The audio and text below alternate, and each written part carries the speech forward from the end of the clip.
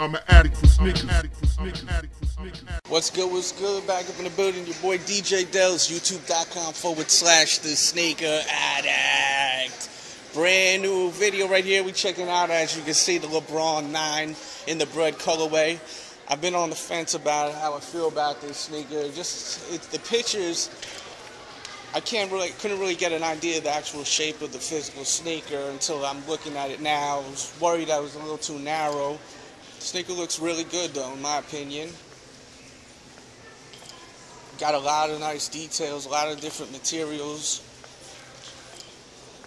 You got the back pull tab over here with the 9.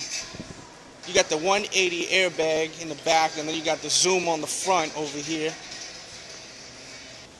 What do you guys think? Is this hot or not? Is this a go for 2011, 2012? Let me know. Let me know. I'm gonna show you what these look like on feet. We're in my homie shop right now. I'm gonna show you guys what these look like on feet. This right here is a size nine and a half. I usually wear a size nine. This, this feels like the right size right now. So what do you guys think of these on feet?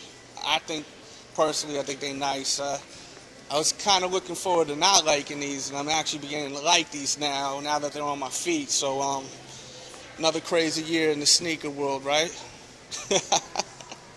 Leave a comment though. Let me know what you guys think, if these are hot or not. Make sure to check out the sneakeraddict.com morning, noon, and night like clockwork, alright? Chill.